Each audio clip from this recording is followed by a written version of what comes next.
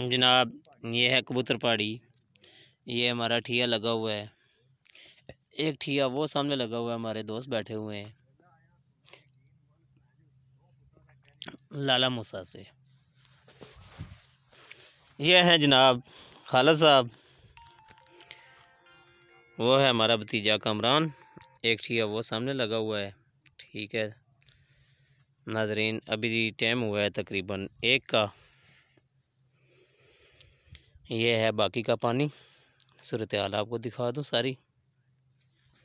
और ये रहा बैकग्राउंड टाइम टाइम तीन होना लेने। एक नहीं तीन होना लेने। ढाई से तीन का टाइम है जनाब।